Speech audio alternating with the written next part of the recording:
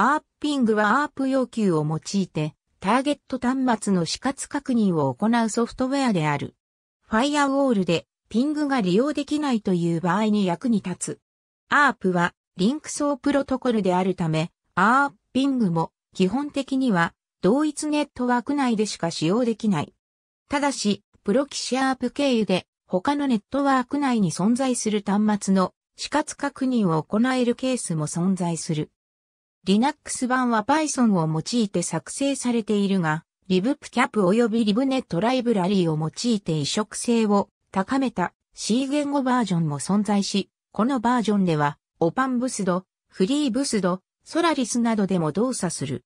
送信元 MAC アドレスの詐称とプロミスキャスモードを併用することで、送信元を隠蔽した状態で死活確認を行う機能も設けられている。ドルアーピング192.168、39.120。アーピング192.168、39.120 from 192.168、39.1S0。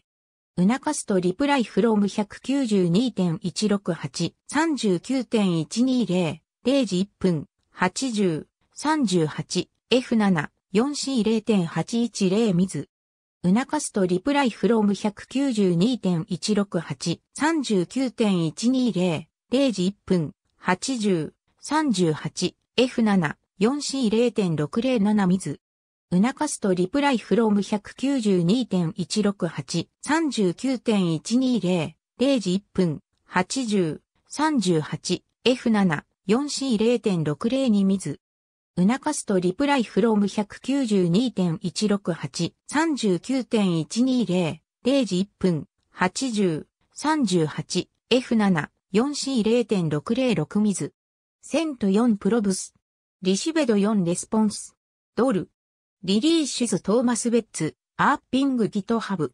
2018年7月18日閲覧。ありがとうございます。